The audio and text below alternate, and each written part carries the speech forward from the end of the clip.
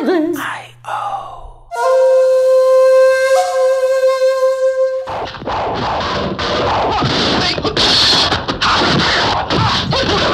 Hello, it's Shai Reznik again from HiRez.io.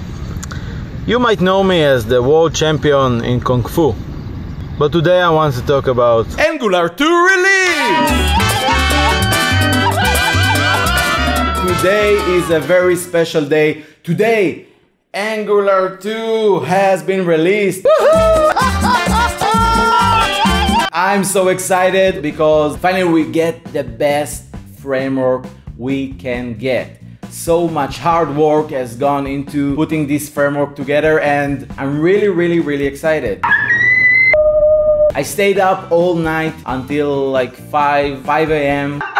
waiting to see the live event and to see the announcement and it was so exciting and I was so happy for the team to finally get this baby out. The real heroes of this framework is the Angular team, who invested their whole life into making it great. And reading through the source code, it really looks like a bunch of geniuses created this insane thing, which we are all gonna benefit from. So, great job. So I want to share a short tip on how you can get started with Angular 2, uh, but before that, a few HiRez updates. What are you looking at? So I have an upcoming talk about the new NgModules, uh, which I'm going to do Monday, and today I'm preparing uh, for it. And it will be up on YouTube, so I will post a link. So look for it, and in like 10 days, woo! I'm gonna head on to Angular Connect and give a talk there about Angular 2 and why I'm betting my future on this framework.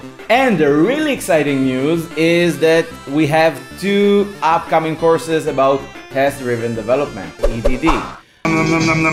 So now for the Angular tip. My tip for today is install Angular CLI. So my tip is actually a challenge. Install Angular CLI by running npm install -g angular-cli. Next create a folder and run the ng init command to generate a new project.